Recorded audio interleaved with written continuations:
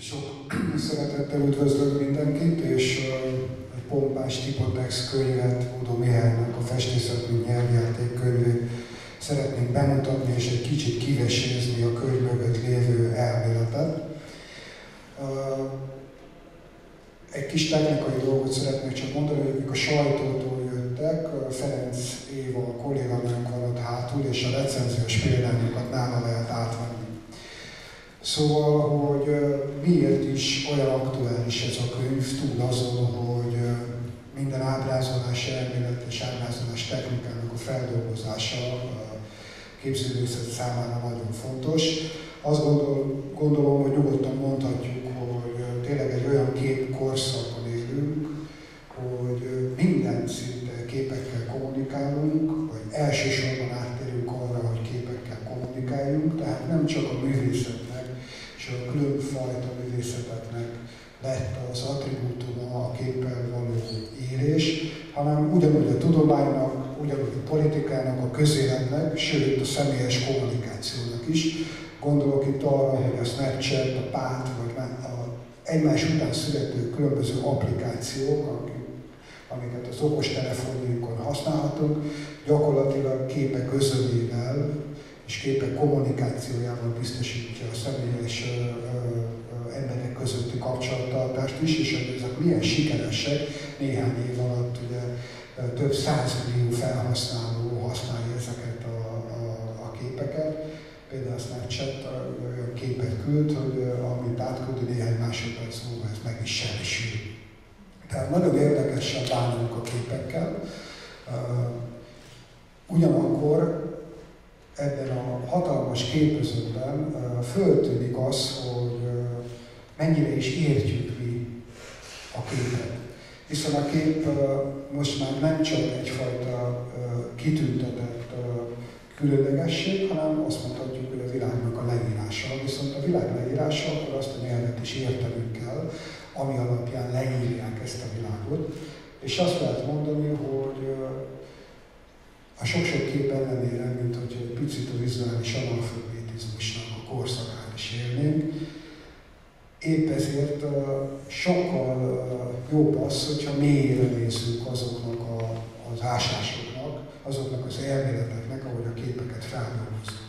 Paul Feyerabend mondta valamikor a 60-as évek és a 70-es évek elején, hogy minden elmélet felülírja a valóságot, talán ezért is lett aztán a dadaista elmélet atya, de minden esetre, hogyha egy elméletet bocsátunk rá a valóságra, akkor ez alapján a valóság megváltozik. Mi most ki fogunk próbálni, és bemutatunk egy elméletet, ami egy régi új ábrázolás elmélet, és amit Bodó Mihály hosszú évtized alatt szedett össze és fejlesztett ki, 13 év alatt készítette ezt a kis könyvét, egy barátjával folytatott beszélgetések alapján annak kiegészítéseképpen, és szeretnénk ezt a régi új ábrázolás elméletet többfajta szempontból megközelíteni, kiemelni azokat az invencióit, amivel másabb, pontosabb lehet talán, mint mondjuk az ikonográfia vagy az ikonológia. Egy dolgot emelnék ki ebből, hogy például mondjuk az asztalt és a figurális festészet szempontjából milyen újdonságot tud hozni a Mihály által összeállított ábrázolás elmélet. Ugyanakkor szeretnék arra is reflektálni, hogy mi lenne, hogyha az oktatásban is újra teret nyerne ez a fajta ábrázolás elmélet, és így néznék a képeket, illetve ilyen módon alkotnánk őket meg. Először két prezentációt fognak látni. Ebben először Bodó Mihály fogja bemutatni a foltrendszerek változásával kapcsolatos elméletét, majd Szegedi Csaba tanár úr, kolorista festőművész fog egy prezentációban további kép, a képek mélyére nézve ennek az elméletnek és ábrázolása módszernek az előnyét kimutatni, majd Katona Júlia aki egyébként túl azon, hogy ornamentikával foglalkozik, a Nemzeti Galéria digitalizálási csoportjának a munkatársa, tehát a képekkel egy másik kapcsolata is van. Úgyhogy ha ezek a körök lementek, akkor pedig majd szeretnénk átadni a szót, és reméljük, hogy egy valóságos kritikai agóra fog kialakulni a mai este. Úgyhogy megkérem Mihályt, hogy akkor mutassa meg az ő prezentációját.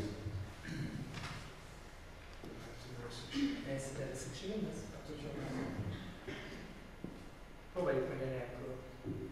Jó? És aztán meglátjuk. Ha nem sikerül, akkor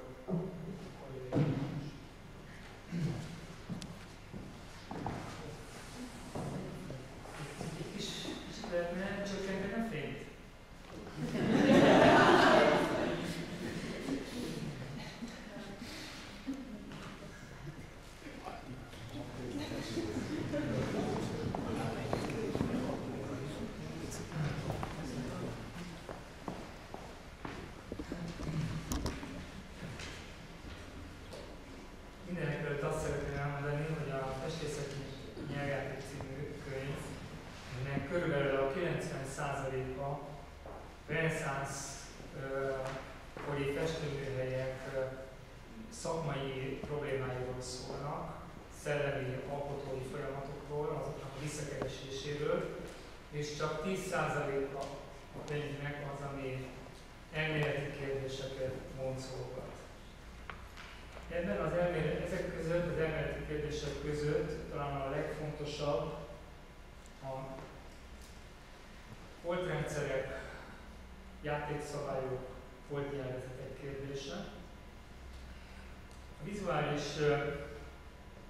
kommunikációban, kommunikációban a kétdimenziós foltrendszereknek körülbelül olyan szerepük van, mint a verbális kommunikációban a szavaknak és a kijelentéseknek.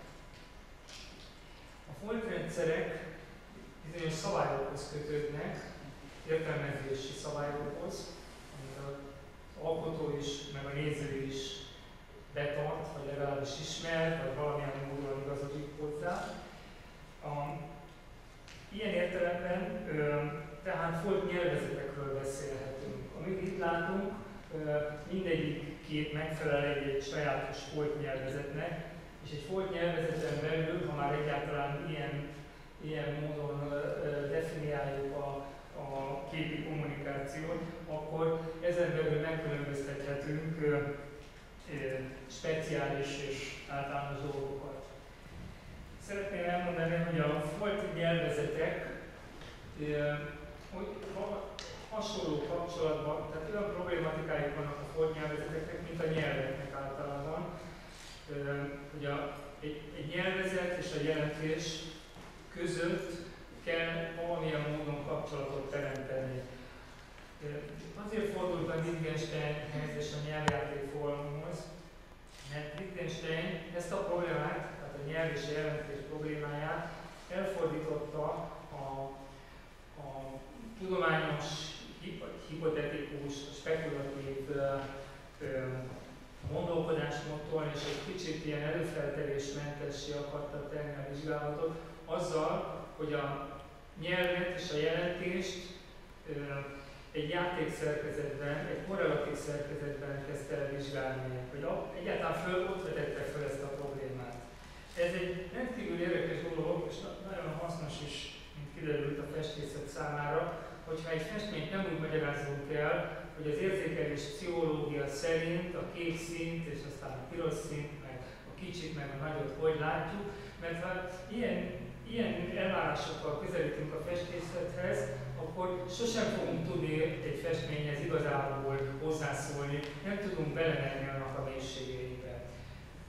A festészet, mint nyelvjáték, tehát azt próbálta létrehozni, hogy a, hogy a létező foltrendszerek, foltnyelvezetek, absztrakt játékszabályok, jelentéseknek olyan vizsgálatát készítse elő, amely a festőműhelyekben az alkotókhoz, az alkotók szellemi munkájához közelít.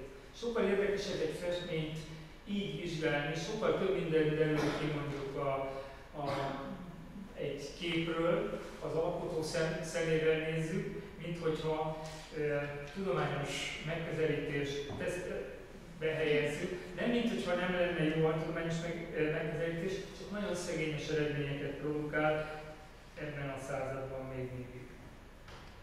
Hát itt olyan, ez a kis ábra azt mutatja, hogy a foltrendszerek valamilyen játékszabályokon keresztül értelmezési szabályoknak is lehetne nevezni, jelentéseket, tartalmakat hordoznak számukra, amennyire ismerjük, vagy felismerjük ezeket a szabályokat.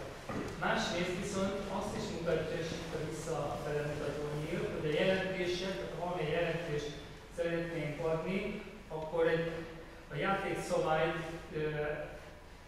szerint kell eljárnunk, és a kétdimenziós foltrendszert is e szerint kell kialakítani.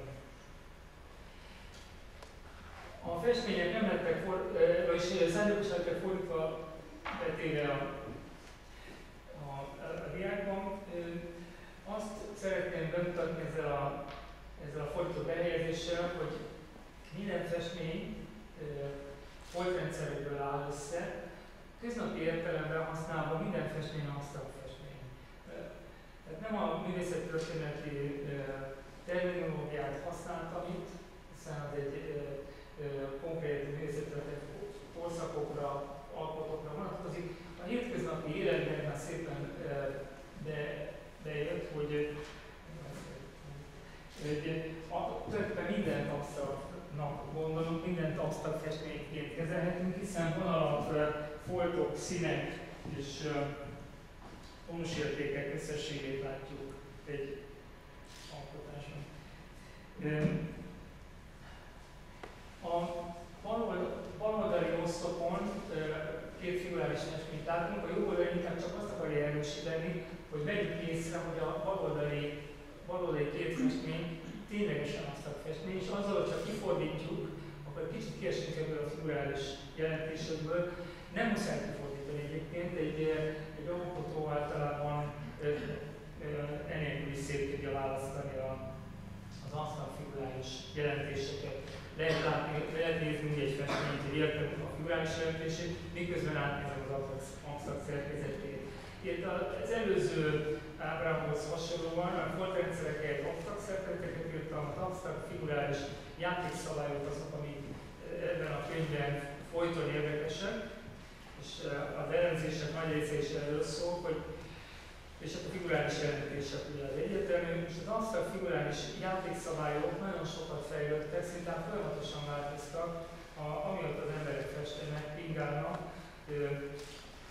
A, ezek közül, tehát végig lehetne menni a, a, az altavírai barlanktól elkezdve a korunk festészetéig, és nem csak a festészetéig, hanem a, a fényképek és filmkockákat is végig lehetne elemezni de továbbiakban egy szűk témával vagy leszűkítem a kérdéskört, és a, a, az újkor hajnalán, az 1400-as évek végén, az 1500-as évek elején bekövetkezett paradigmaváltásról szeretnék beszélni, ami a vizuális kommunikáció legmagasabb szintjén a festészetben bekövetkezett. Az, a kép, képvonal alsó részén lévő festmények szintén ki vannak fordítva, ugye, hogy kicsit jobban látszik az absztrakt szerkezet. Anélkül, hogy itt hogy belemennénk itt a részletekbe, már önmagában ennyi is elég, hogy érzékeljük, hogy valami változás történt lent, ilyen fragmentált, színes, kissé geometrizáló, kétdimenziós foltszerkezeteket látunk, míg a vonal fölött sötét, világos, tónus szöveteket, organikus szöveteket látunk, és most az a kérdés, hogy ezek a különböző absztrakt szerkezetek, ezek milyen más módon is tértek el. Hát nyilván, hogyha különböző absztrakt szerkezeteket használnak, akkor valószínűleg más-más absztrakt figurális játékszabály vonatkozik a szerzőre is, meg az értelmezőre is, és természetesen más jelentése is van a, a vizuális kommunikációnak. Tehát azzal, hogy megvizsgáljuk az alapszerkezetek változását, valójában átmegyünk, akarva nem akarva, a jelentések változásából is. Csak ö, röviden, nem is tudom, hogy nem is mondhatom, hogy utalok rá, de most itt vagyunk, mégiscsak megemlítem, hogy Hauser Arnold például ezt a paradigmaváltást, bár nem használta ezt a kifejezést, de hát ez egy ismert tény volt a, a művészettörténészek által, komoly társadalmi krízisekhez kötötte. Tehát úgy gondolta, hogy itt, itt a, a mélyben valami nagy, nagy probléma volt, és ennek következtében megváltozott a festészet. Antal Frigyes viszont szintén magyar származású, magyar származású művészettörténész, viszont éppen arra mutat rá egy kis cikkében, hogy semmilyen nagy változás nem történt.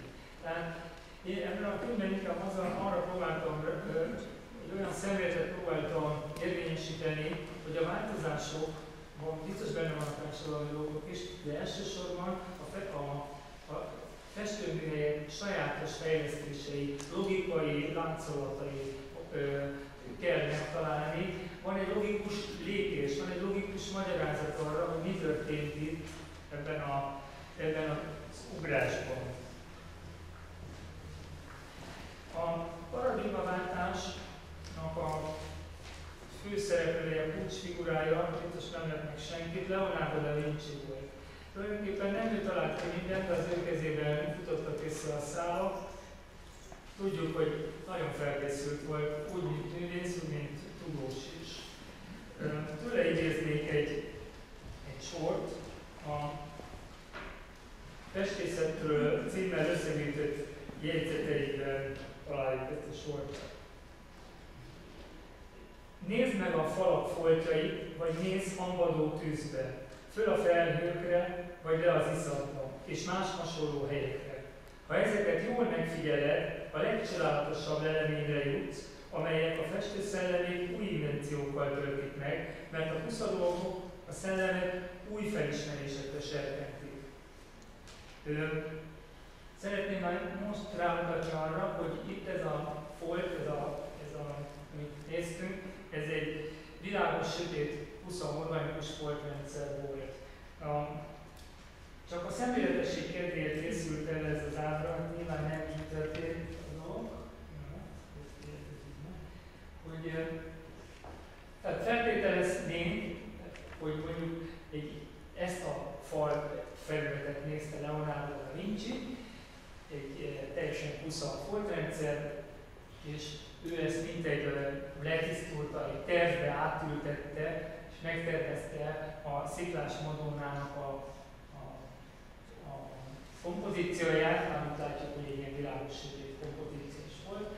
Elkészült a mű, most a, ez a negyedik kép fejjel lefelé mutatja a, a műnek egy átiratát, nyilván arra utal, hogy megint egy absztrakt szerkezetet szeretnénk kiemelni. A, azzal, hogy a színeket levettem, ezzel még jobban látszik, hogy egy világos sötét, vagy ahogy szokták mondani, kiálló szkúros foltrendszer látunk itt, szintén organikus, és nagyon hasonlít egy foltos falhoz. Tehát a kör bezárul, egy foltos fal inspirál egy művet, és maga a mű is egy foltos falhoz lesz hasonlatos. Ez az érdekes ebben a, ebben a Leonardo-i felszólításban, a művész kollégáinak írt le, hogy nézd meg a falakat és inspirálj meg belőlük a foltokból, hogy tulajdonképpen arra ösztönzi a festőket, hogy fontos falakat fessenek. Tehát olyan festményeket, mint, hogy, mint amik fontos falakra emlékeztetnek, vagy hamadó tűzre, vagy vagy visszakra. Mert mert vége, már, szép, már számára vége a, a korábbi, a korának a, a geometrizáló, fragmentált, fragmentált színezésű, mindjárt ezek is szóba jönnek, folt nyelvezetnek, és egy teljesen új más, egy teljesen új folt nyelvezet elé álljon a festő, és engedje magát inspiráltatni. Jó. A, chiaro-oszkúros folytszerkezetet nézzük meg közelebbről, azt látjuk, hogy a, a világos foltok, ugye nem, nem titok, hát mindenki tudja, hiszen ebben a nyelv, ebben a játékszabályrendszerben nőttünk fel, a világos foltok fényt jelentenek. A sötét foltok pedig árnyékot. Hozzá kell tenni, hogy ez nem volt mindig így. Jellemző például, hogy a flamand festő, akik 1410-20-30-40-ben már használták ezt az előteljes járószkúrot és a térábrázolást, de nem voltak következetesek ebben, a, ebben az ábrázolásmódban, hogy a világos foltok sokszor csak világos ruhát jelentenek, egy ilyen kevert hibrid megoldásokat alkalmaztak. Leonardo da Vinci volt az, aki gyakorlatilag egy fényintenzitás térképet készített el, a festményei fényintenzitás térképek, ahol léteznek domborzati térképek, úgy kell elképzelni ezt is. Abban az értelemben fényintenzitás térkép, hogy kétdimenziós foltrendszer, én meg tudom mondani, hogy ez a, ez a folt, ez a, egy, a virtuális tér formáin egy megvilágított felületet jelent. A fényintenzitás térképnek a jelentése tehát egy virtuális fénytér. Ez is egy újdonság, majd mindjárt kiderül, hogy milyen.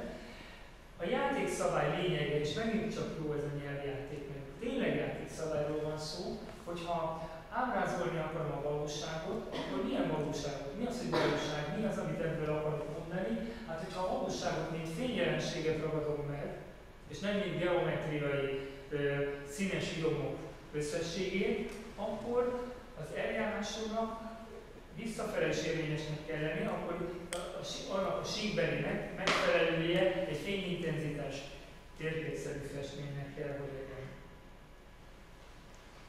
A festett fényképek Leonardo után szépen el is terjedtek Európában, erre majd később.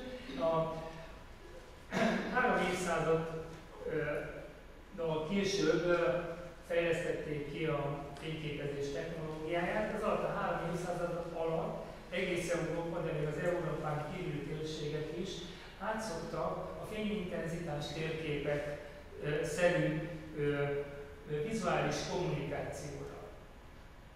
A, hogy lássuk a különbséget, hogy mi is, honnan is bukkant elő Leonardo-nak ez a hatalmas invenciója, Vegyük például Botticelli-nek 1489-ben készült Angyali, Angyali Üdvözlet című festményét. Leonardo és Botticelli pályatársak voltak, Botticelli néhány évvel idősebb volt, és együtt tanultak Verrocchio műhelyében. Később is volt közöttük valamilyen kapcsolat, a jegyzetek, a Leonardo jegyzetek annak is egy kis polémiára kettőjük között. Az első ránézésre nehéz különbséget tenni a, két festmény között, mert arra gondolunk, hogy, mert, hogy hát jó, hát az egyik egy ilyen épületelemek vannak, de hát, hogyha itt épületelemeket kivennénk és sziklákat tennénk, akkor nagyjából ez is hasonlítanának.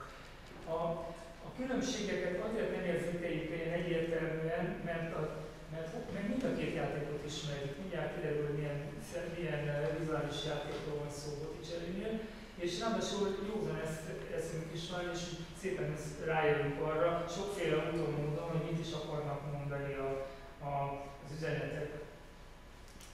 A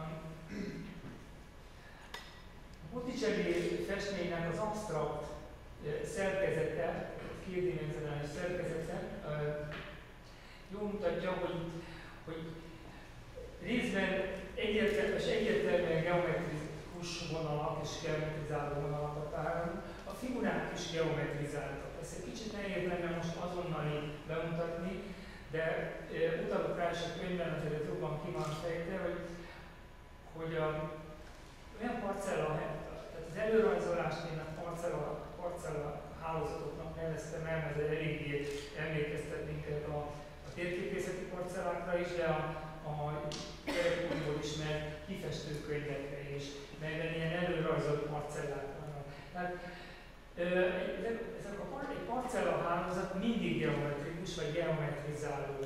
E, sosincs organikus, olyan nincs egy organikus parcella. Ezek, az, ezek a geometrikus, geometrizáló, kiszínezett parcella hálózatok, melyeken egy parcellán belül találunk világos, sötét modulációt, ami a plasticitását adja a felületnek, tehát ez egy felületleírás. Ennek egy geometrikus, színes térszerkezet felel meg, melyben a figurák is, ha nem lenne rajtuk a, a, a lepleken nem lennének gyűrődések, akkor a figurákról is kiderülne, hogy erősen geometrizált idomokból lettek összerakva. Egy kicsit a polikróm szobrokra emlékeztet, a, a románkori és itt inkább a gótikus polikróm szobrokra.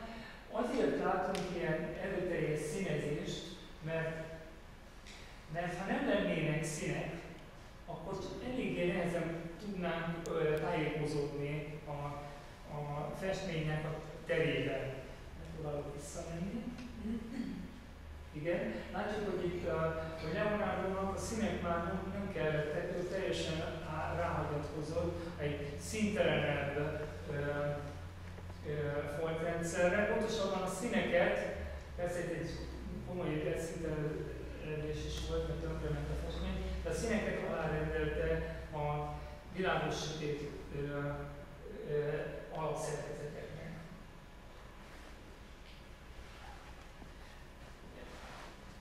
Itt most az előző két elemzést látjuk egymás alatt. Még egyszer elmondom, hogy itt egyértelmű is, hogy egy geometrizáló színes parcella, parcella hálózat, egy fragmentált folt szerkezetnek egy geometrizáló színes idomokból, fragmentumokból összerakott, kicsit a LEGO konstrukciókra emlékeztető térolvasata van. Ezzel ellentétben Leonardo-nál fényintenzitás térkép szerű festészettel találkozunk, melynek fénytér olvasata van.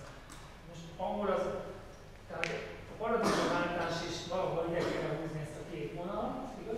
A paradigmaváltás is arról szól, hogy nem csak az absztrakt szerkezetek és változtak meg, hanem megváltozott az egész absztrakt figurális játékszabályrendszer, és így teljesen más jelentések kerültek be. Például a kokáig anélkül, hogy csak alapokról beszélünk, tehát nem megyünk bele a irodalomba, vallásba, mitológiai jelentésekbe, csak azt szeretném mondani, hogy ez itt egy statikus szerkezet, ez pedig egy organikus, dinamikus szerkezet. A, organikus, dinamikus szerkezetek előtt hiába, hiába mozognak a figurák. A Trecento, Quattrocento festményei, bár olyan sokat nem mozognak, de és valójában nagyon statikusra sikerültek, még, mégsem mozdul meg az egész rendszer.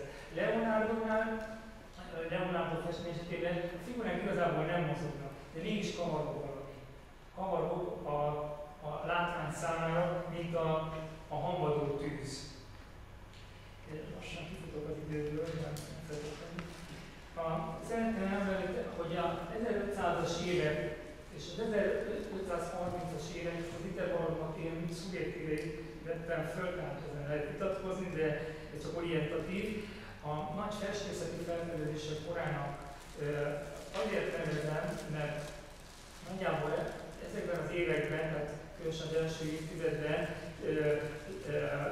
az új festőgeneráció, meg a leonardo intenciókkal felfegyverkezve kezdte el a festészeti ezt az új nyelvezetének a kutatását.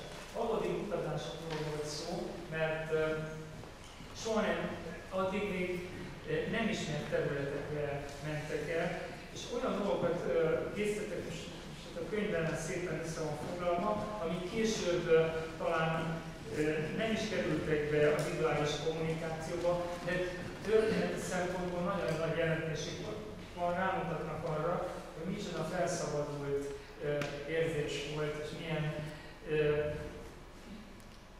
milyen nagyszerű élmény festeni ebben a korban. Még azt szeretném mondani, hogy a, két dolog, hogy a manierizmus sem tudott volna létrejönni csupán csak társadalmi krízisek miatt. A manierizmus egy dinamikus folytrendszert tételez fel, amelyben az alapokat persze el lehet nyújtani, és mindenféle mozgásokat lehet velük, meg lehet mozdítani az egész kompozíciót, de, de nincs olyan társadalmi változás, ami képes lett volna egy statikus foltrendszerből manierizmus készíteni. Tehát hozzá kell tenni, hogy hiába Michelangelo tesz, tesszük meg a manierizmusnak a, a atyának, valójában a manierizmus igazi, igazi atya, ahol Leonardo da Vinci volt, aki azért nem egészen nem mindig készített statikus festményeket. És befejezésül, hogy a, a, a korabeli festőműhelyek épp úgy hálózatot alkottak Európában, mint ahogy most az interneten és a számítógépek össze vannak egymással kötve, hálózatot alkotnak. Csak ez a, ez a, ez a műhelyi hálózat nem volt olyan gyors, mint egy mai internet hálózat, lassan terjedt benne az információ, viszont volt valami, volt egy-két közös tulajdonságú, de egyik ilyen közös tulajdonsága, a, a, amit én ki kell emelni, hogy, a, hogy például 1530-ban már mondjuk Spanyolországban és Franciaországban is találunk olyan műveket, amelyek fényintenzitás térképek szerűen lettek megfestve, és már nem geometrizálnak, hanem fényeket keresnek. Az a festő nem biztos, hogy meg tudta volna mondani, hogy honnan jött el ez a tudás, ki találta ki, hogy lehet nem is hallott Leonardo sőt valószínű. Éppen úgy nem tudhattam, hogy sokszor mi sem tudjuk az interneten, hogy valamilyen információ honnan származik.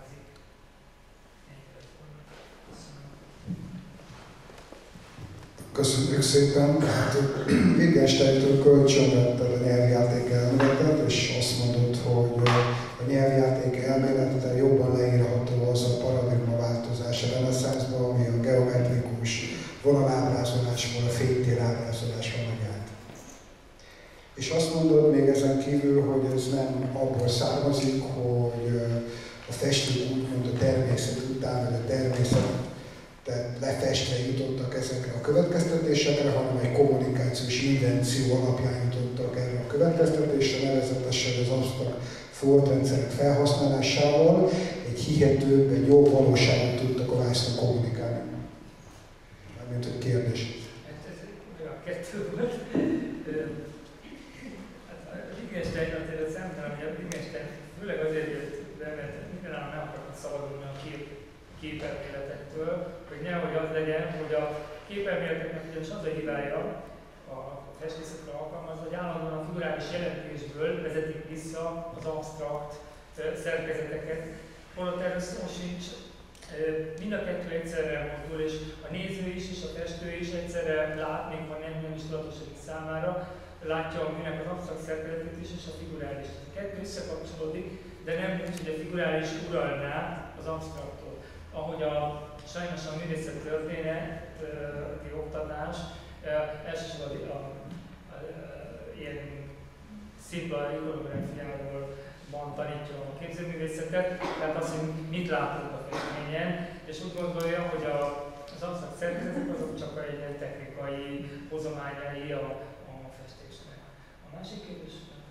Hogy, bocsánat, csak erre maradva, hogy nem technikai hozományai, miért ennek a foldrendszer felismerése is valójában egy, egy filozófiát feltételez, egy világállását Igen, ez a jó a nyelvjáték alkalmazásánál, hogy ilyen mély kérdésekre nem keres választ.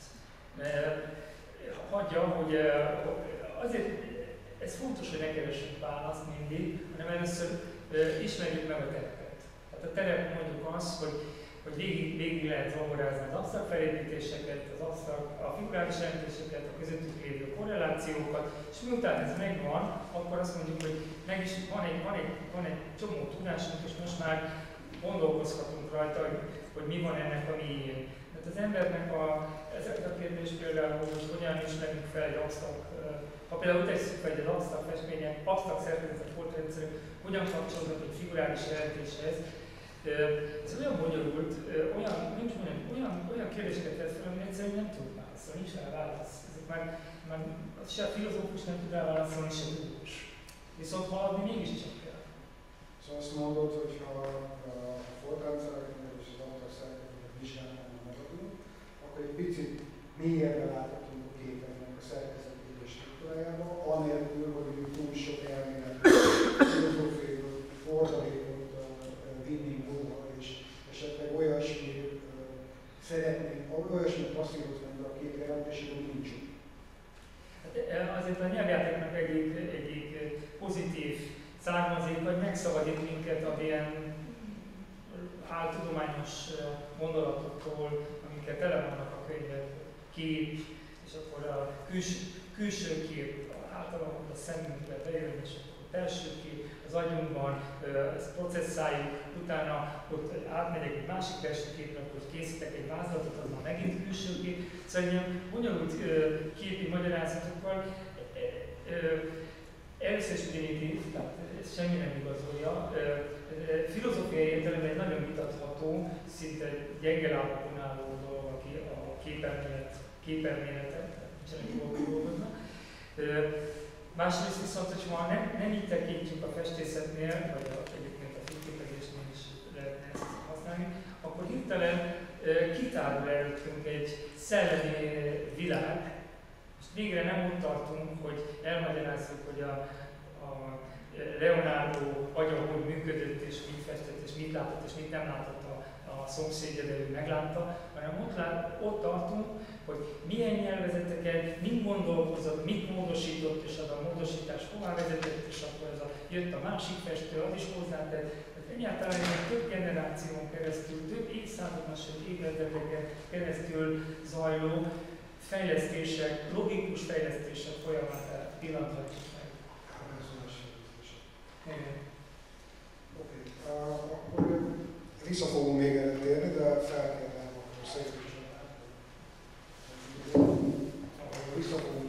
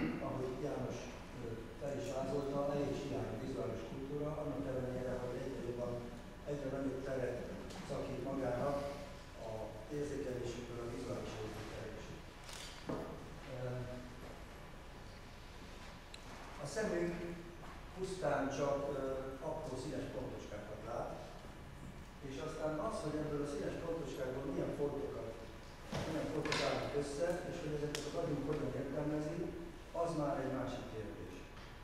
És ez, ebben nagyon nagy szerepe van azoknak a fajta foltrendszereknek, amikről Mihály beszél a könyvében.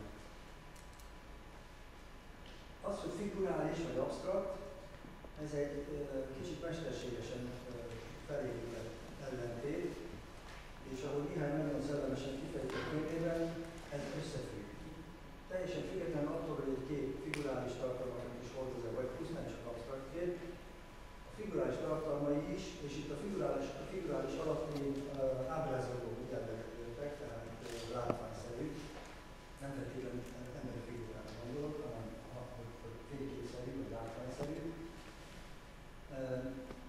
ezek a tartalmak is absztrakt, színes fordítrendszerek alapján jönnek létre az anyagban. Ez a kép Chuck Close-nak a öregkori, egyik öregkori képe. Chuck Close a 70-es években a hiperrealista festészetnek óriási mestere volt, ami teljesen fotószerű óriási portréból áll. És az öregkori képei látunk, amelyek négyzethálóval parcellákra van osztva, és ezek a kis parcellák teljesen, teljesen el van absztrakt kis színes mezőstükkel, vagy foltoskákkal vannak megtörténítve, egy digitális fotót óriási pixelekre bontanánk, és ezeket a pixeleket színre bontott foltoskákkal töltenünk meg, és nagyon jó ez a két kép, a jobb oldali, a bal oldali, a szemetlen, amit a biztos hogy figura regiului Austro. Figura regiului este Austro, înțelept, țăr,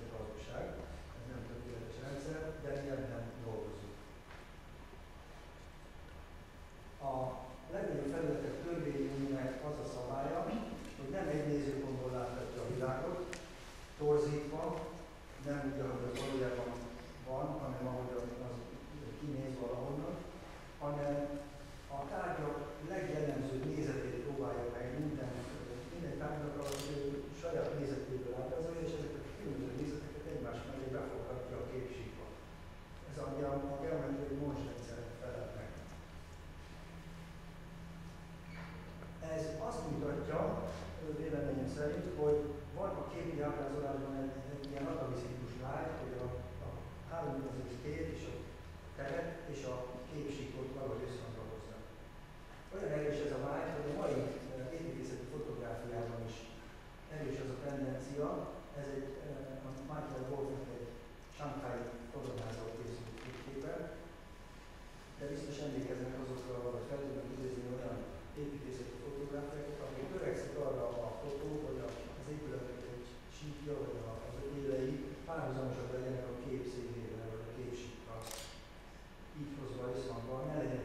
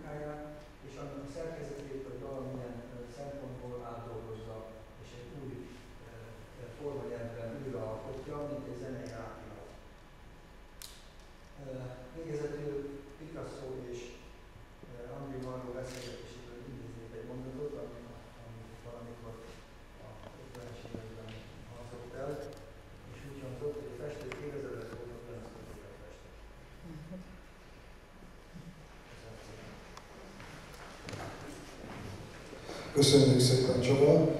Akaratlanul adódik felé a kérdés, hogy a különböző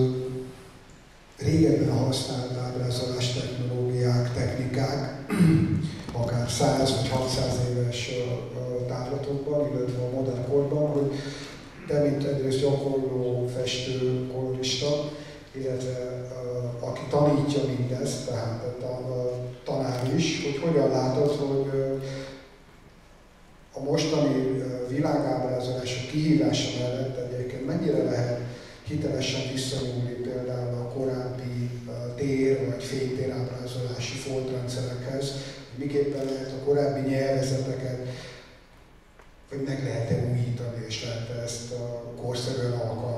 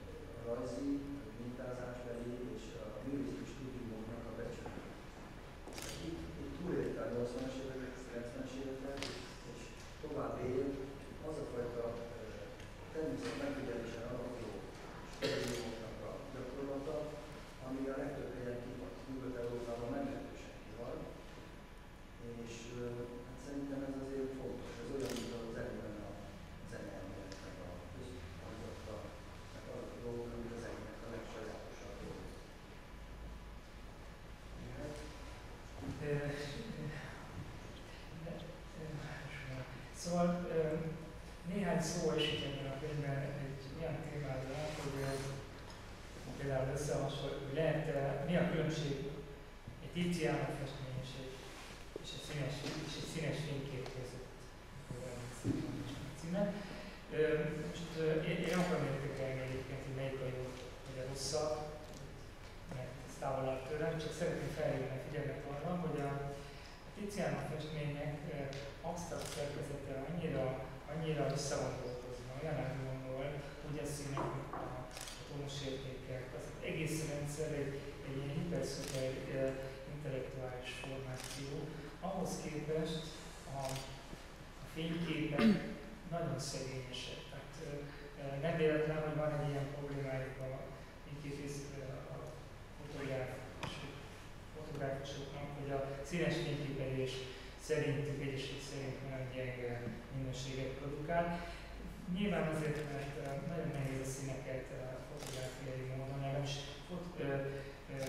összehangolni a, a kétdimenziós területen, lehet photoshopolni, és lehet kísérletet tenni, hogy ticiánus rendszereket össze, létrehozni, csak nagyon nehéz ticiánóval lépést tartani. Amit talán is is hogy, hogy egy sokkal primitívebb, de akkor nagyon hatékony vizuális foltnyelvezetet használunk ma a, a mobilozással, a filmezéssel, a fotográfiákon keresztül, mint a, a festészet használta. Leesett egy csomó olyan dolog, kiesett, ami régen elképesztően fontos volt, de úgy látszik, hogy, hogy nem minden a gazdagság. Sokszor a szegényesebb nyelvek, mint a angol sokkal szegényesebben fejezik ki az a, a fekete szót, mint mondjuk valami törzsnyelv, aminek legalább tízféle szó van a, a feketére, de egy ilyen szegényes nyelv sokkal átfogó és sokkal rugalmasabban tud kifejezni, sokkal jobban kommunikál. Elképzelhető, hogy a Tiziano féle és a Tiziano féle nyelvezet is túl bonyolult, túl nehéz előállítani, túl sok információban van, és túl, túlságosan intellektuális. Talán ezért, ezért hasznosabb vagy célszerűbb ezt a viszonylag egyszerű fénykép alapú képi kommunikációt használni Jó, kell hozzám, hogy itt egy-két keresetlen szó elhangzott a művészet történetről, mint tudományból, hogy túlságosan is a intellektualizált a, a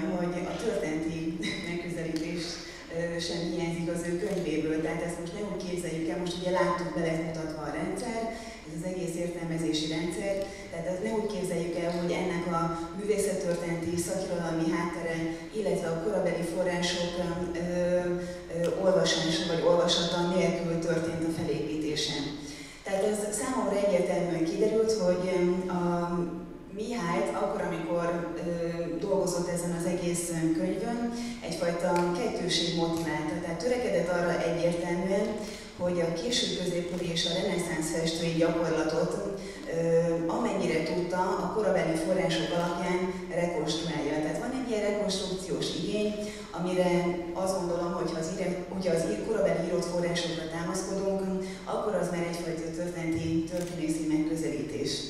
Ezzel azért remélem egyetértünk. Tehát ez mégiscsak egy ilyen objektív szemlélete ennek az egész problémának. És tudni kell, hogy a történeti kontextus feltáró művészeti történeti szakirodalom, tehát a Panofsky, Gombrich, Wölfling művei és a festői gyakorlatokat feltáró leíró forrásokra való hivatkozás az nagyon-nagyon jelentős és hangsúlyos szerepet kap ebben a könyvben, tehát ugyanúgy látjuk, hogy Albertire, Leonardo és Cennino Cennini festészeti traktátusaira való hivatkozásokkal illusztrál egy csomó problémafelvetést, amiket egyébként én még kiegészítenék néhány nagyon fontos a korból származó Dürer-féle és a Piero della Francesca 19. század végén először nyomtatásban megjelent festészeti traktátusával és annak az alapjaival. Ugyanakkor pontosan festői gyakorlat rekonstrukciójához felhasználta Giorgio Vasari és Pietro Bellori életrajzokat összefoglaló alapműveit. Ez, ez, ez a festői gyakorlatra, festői gyakorlat rekonstrukciós igénye, ez egy nagyon hangsúlyos eleme ennek a könyvnek, de ugyanakkor az ő rendszere, ez egy teljesen új önálló értelmezési olvasási rendszer, amivel a műalkotásokhoz közelít, pontosan ezeken az írott forrásokon alapul. Tehát ő próbál, ez így is van, ezekre támaszkodni, tehát nem eltérni az eredeti festői gyakorlattól, de ugyanakkor fölmutat egy új értelmezési kulcsot, amit azt gondolom, hogy eléggé univerzálisnak tekint bizonyos szempontból. Ez a, tehát maga, az egész rendszer, az viszont a szubjekt, egyfajta szubjektív megközelítését nyújtja ennek a témának.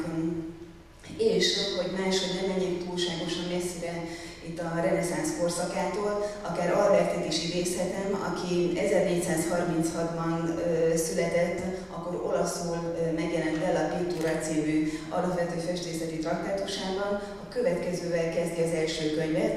Kérem tehát, hogy mindazt, amit elmondunk, csak mint festő tollából származó dolgot értelmezzék. Azért hoztam ezt az idézetet, mert azt gondolom, hogy ez egy ilyen kardinális, vagy ilyen választóvonal ennek az egész témának a megközelítésében. Tehát a Mihály, mint gyakorló festő közelít a témához, és a korabeli festői gyakorlat rekonstrukcióját is, mint gyakorló festő próbálja gyakorló festőként is próbálja értelmezni, tehát egy művészettörténész nem feltétlenül így nyúl ehhez a, vagy ilyen összefüggésben tud, tud nyúlni ehhez a témához. A másik, ami nagyon-nagyon érdekes volt számomra ebben az egész könyvben, és újdonságértékkel is rendelkezett, az ennek az egész olvasási vagy értelmezési rendszernek a terminológiája. Tehát egy olyan terminológiai készlettel találjuk szembe magunkat, szervesen keveri a már meglévő, évszázadok folyamán kialakult fogalomkészletet, tehát itt gondolok a chiaroscuro sfumato, perspektíva, aranymetszés, unió, nezónák, stb. használatára, fogalmak használatára.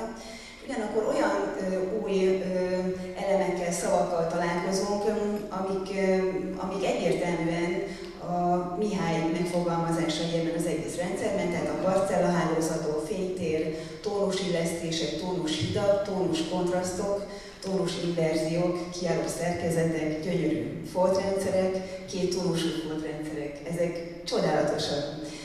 És ugye mindezek az asztral szerkezetek, szerkezetek leírásához szolgálnak, és nagyon-nagyon organikusan, tehát az én meglátásom szerint nagyon organikusan kapcsolódnak az előzőleg felsorolt régi fogalmakhoz.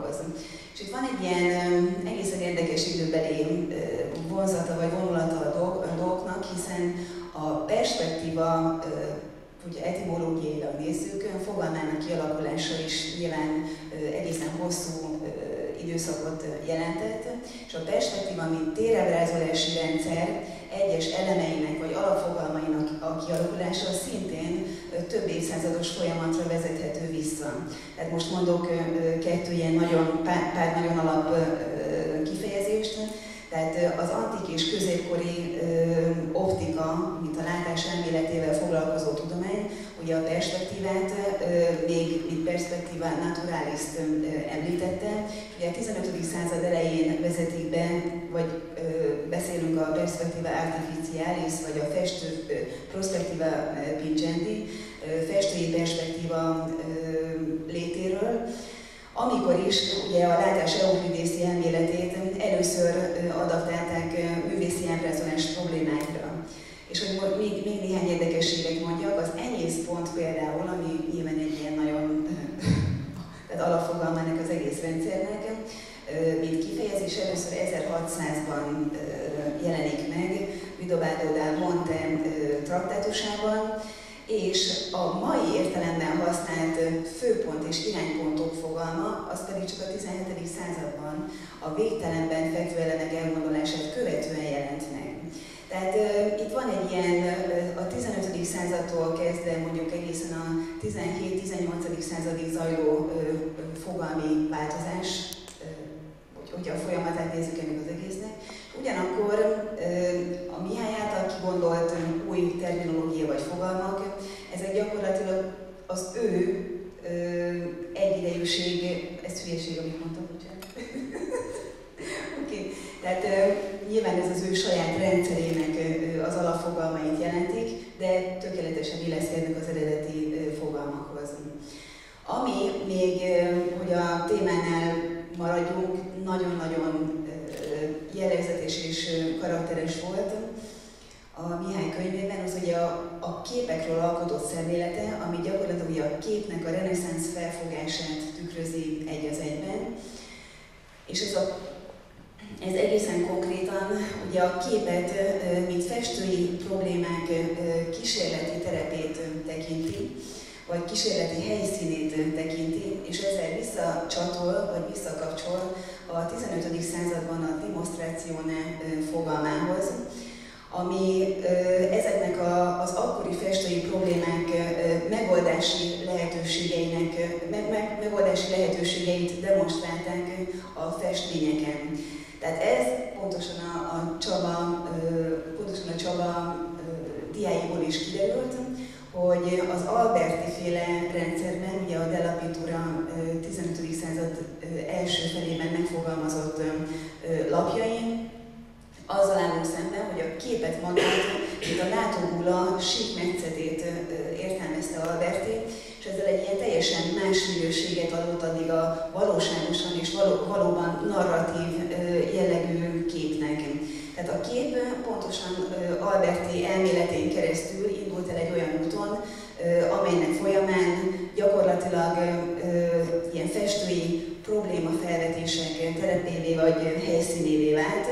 Ugye ennek a legismertebb, legismertebb jelenségeire, vagy egyik jelenségére utaljak, ez például a mindenki számára valószínűleg nagyon ismert Mazzocchio megfestésének problémája volt a reneszánszban. Tehát a 15. és 16. században ez volt az a tárgy, és itt csak egy darab tárgyról beszélünk, és nem is egy teljes térebrázolási szisztémáról. Tehát egy tárgy, ennek a bizonyos Mazzocchio-nak a megfestése volt a perspektíva készség demonstrációja.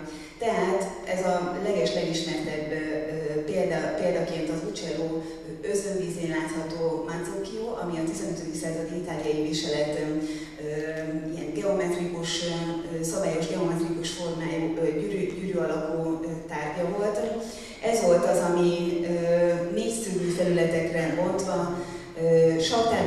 20-as változatával a perspektívát tanuló festők és diákok számára egyfajta ilyen vizsgafeladatként is funkcionált. Ugye Uccello több festményen is megfestette, Leonardo saját maga rajzolta, Piero della Francesca pedig a festői perspektíváról írt könyvében pedig részletesen tárgyalja ennek a Manzocchiónak a szerkesztését. Most ugye a Mihály a képeknek ezt a fajta demonstráció jelen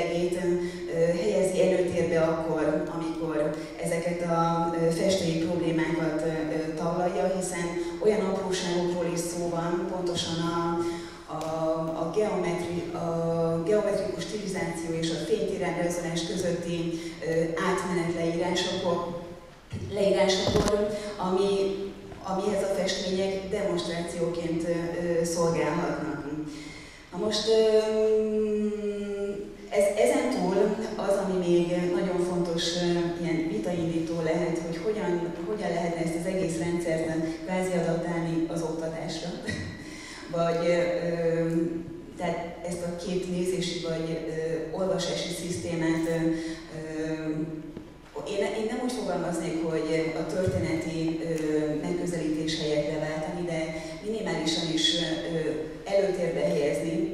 Ugye akkor visszatérek megint csak a, a kiinduló vagy a ö, kezdőponthoz, ö, amikor azt mondom, hogy ö, ne, ne kitárólagos értelmezési lehetőségként próbáljuk ezt javasolni, hanem alternatívaként. Ezzel lehet, hogy nem mindenki ért egyet. Egyáltalán nem a történeti a, a probléma, hanem az irodalmi. Hát itt Magyarországon egy ilyen, ilyen irodalmias művelődés zajlik, művészet történészek adják egy részét, de a művészet történetással, nem is szól ellen, ellen senkinek, csak ezt a, a, ezt a narratív szeretnék kicsit meg, megpiszkálni, mert azok, azok irodalmiak, akik nem tudnak más mondani a festészettel kapcsolatban, mint ami éppen az eszükbe jut, vagy ami még olvasnak. A, a kint, tehát Magyarországon kívül Spanyolországot ismerem jobban, ott a Prado körül nagyon komoly művészet történészek dolgoznak, nagyon sok mindent olvastam tőlük, egyáltalán nem irodalmiak, teljesen pontosan történetiek, azzal is tisztában volt, és festészeti procedúrákat, szellemi folyamatokat is elleneztek. Tehát nincsen semmi probléma, csak legyen, legyen, legyen történeti, legyen, legyen, legyen gondolkodó, ez az irodalmias hozzáállás, ez, ez, ez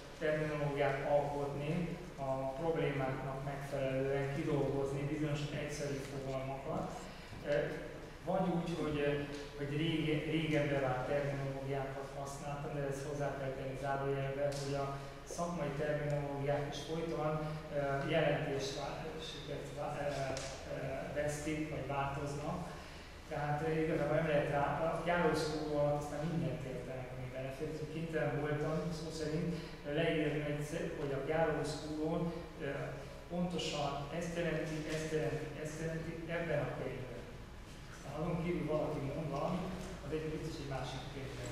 Nagyon sok mindenre azért kellett terminológiát gyártani, mert amikor egy festmény előtt állunk, akkor a szerkezeteket meg lehet mutatni az újunkkal, mondjuk egy tanulónak, hogy látod itt, hogy hogy összeilleszkedik ez a két szín, pedig két teljesen különböző szín, de mégis a vonalunkat ért, pontos értékük megegyezik. Igen, ám csak, hogy ezt elmondani, leírni, erre kénytelen voltam kitalálni azt a terminológiát, hogy tónus híd. A híd, a tónus biztos, hogy szerencsés lehet, hogy a híd sem, de ha használjuk és folyamatosan használunk egy terminológiát, arra, hogy itt, folyam, hogy itt hálózatok és kapcsolatokból áll egy festmény minden rétegben, jobbra-balra, körkörösen, akkor egy hát akkor használható. Tehát ilyen értelemben sokszor kellett újítani, és az egész nyelvezet egy picit új is, és más is gondolom, mint amihez általában hozzászoktak. Érdekes. Közben mondanám azt is, hogy a festészet, mint nyelvját, a bibliotekszárból kiadott könyv, hátul jelentős 35%-os kedvezmény, a bibliotekszárból jó voltából megvásárolható, és uh, nincs kérdés, hogy engedjél feltennék, hogy ti hogy értitek, hogy melyik az a része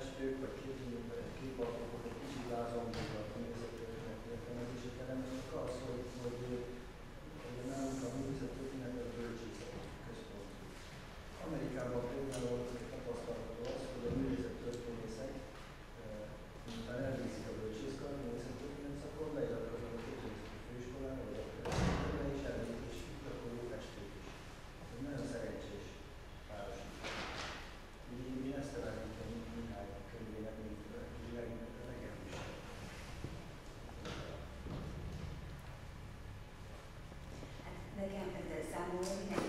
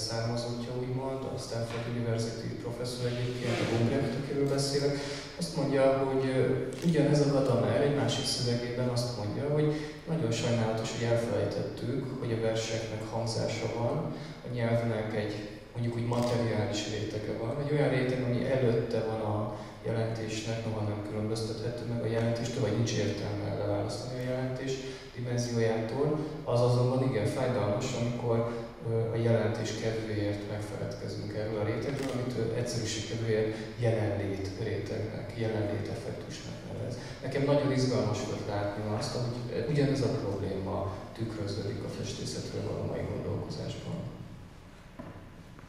Köszönöm szépen, amikor én először hallottam a, a Mihály könyvéről és olvastam, számomra is egyébként ez volt a legérdekesebb, hogy a jelentés és az élmény kettősében az élmény és a jelenlét dolog vált ezáltal erőssé, úgyhogy én mindenkinek csak ajánlani tudom ezt a könyvet, hogyha nincs kérdés, van. Röviden szeretnék szólni. Nem akarom öregíteni magam, de 35 éve járunk Olaszországot, Németországon, és jártam. Tehát elég sok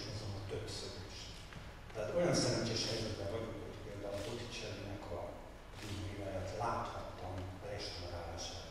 80-as én elején láttam, És az a színvonal, ami akkor megjelent a restaurálás után, az ma már megint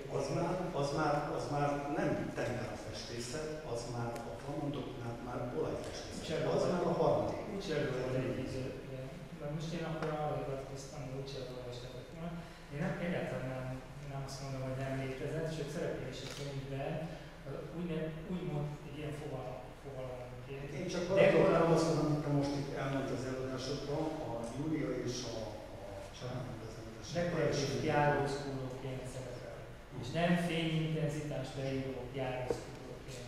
Tehát használták a dekoratív járvaszkudót, sőt, a könyvemben még csimagóinél is kimutatom a járvaszkudó, a dekoratív járvaszkudót, hiszen a sötét meg a világos, a, színez, a színezéshez tartozik, és mivel állandóan, csak ez is állandóan más-más szint akartak egymás mellé tenni, hogy ne olvadjanak össze a pastellák, és időnként más-más tónust is akartak, tehát most tónus értéket is ezért még külön Albert felviseli a figyelmet, hogy a sok szín mellé még fehérek is és feketék is. Nincs semmi probléma. Oké, okay. én, én csak annyit szeretném. Csak nem írnak le Hogy a reprodukció eléggé gyengét volt sajnos. Hogy? A reprodukció nagyon gyengé. Tehát színben nem. Hát nem csak a reprodukció, maguk a művek tönkrementek. Szóval ez rossz. Tehát, tehát ez alapján nagyon nehéz eldönteni. Én ezt de sokszor beleírtam, hogy sajnos a reprodukció, amiket használunk, sőt, amit látunk, az már egy egészen megromlott színharmonizáció. Másrészt ugye sokszor nem is úgy látjuk, ahogy művek keletkeztek, tehát nem egy műteremben a bizonyos megvilágításnál a festő valamilyen harmonizálást végzett, utána bevitték mondjuk egy templomba, ahol sötét volt, már nem ugyanaz volt, aztán megöregedett évszázadokkal később, akkor kirándották, vezették a Prága Múzeumba, tehát teljesen más, egészen más festményt látunk ma. És ez, ez alól nincs is kivétel, egyesek szerint a temperával készült festmények sokkal jobb állapotban maradtak, ugye ezt tudjuk, a, a tojás temperának legyen konzerváló ereje, tehát sokkal jobb a szín élménye a régi a tojás temperával készült festményeknek, mint az, ahol már olajat is bevettek a temperába. Vagy olajat. Mondom, a könyvet nem olvastam, Ja. de Ja, ja, csak, csak, ennyi. Úgyhogy én nem, nem akarom vitatni, hogy nem, nem, nem olvastam, tehát akkor egész másképp már mondom. Én csak amit most hallottam. Mhm. Csak egy nagyon, csak egy adalékot akarok hozzáadni az egészhez, hogy a képzőművészeti főiskolán volt egy olyan időszak, amikor fekete-fehér diákkal vetítették a művészet történeti képeket, és például Giottónak a, azt a híres Krisztus csókját, ugye, mint a Judás megcsókolja Krisztust, és a művészek ugye úgy látták, hogy rendkívül drámai az a kép. És tulajdonképpen egy tévedés az egész, mert hogy egyrészt még nem volt letisztítva egyrészt a Giotto kép, másrészt amikor elmentek Rómába, látták, hogy teljesen más foltrendszer látnak, és milyen érdekes, hogy ebből azért egy magyar erős ö, tónusfestészet alakult ki ebből a fajta vetítésből tulajdonképpen. Ez csak egy ilyen adalék, egy ilyen érdekes hozadéka a dolgoknak. Az értelmezés egy új csatornáció. A másik érdekesség, hogy Leonardo, én úgy tudom, úgy festett, hogy megfestette, lelakkozta, megfestette, lelakkozta, tehát annyi lakréteg van, van a Mona Lisán, hogy nem, tud, nem, nem nyúlnak hozzá. Tehát egy olyan sötét kép, ami esetleg korábbi reprokon látszódik, hogy sokkal világosabb, míg ott a dadaizmusnál, ugye, amikor bajszot fest a Duchamp, vagy merre akkor lehet látni, hogy sokkal világosabb. Tehát vannak ilyen becsapós folt, hogy mondjam, az internet se biztos, hogy jó erre. Sok esetben. Idézek egy Francisco Goya levélből a könyvben, megnézták, hogy régi festményeket restaurálja a irányúzalban, és egy, ennek a nehézségeiről ír egy pár sort, és aztán ugye a végén ott van a híres, sokszor idézett mondata, hogy az idő szintén fest. Az idő szintén fest. És valóban az idő szintén átdolgoz mindent, nem, nem biztos ezt észreveszünk néhány évtized alatt, amik megváltoznak ma is, de évszázadok vagy évezredek alatt teljesen szép lennek a festmények. Szinte mindegy, hogy milyen készítik És ez, ez egy, az is, azt is odaírtam, hogy, hogy nem fog minden irányát nem lehet megváltoztatni.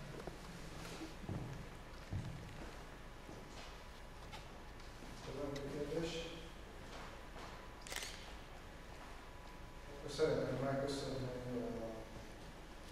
a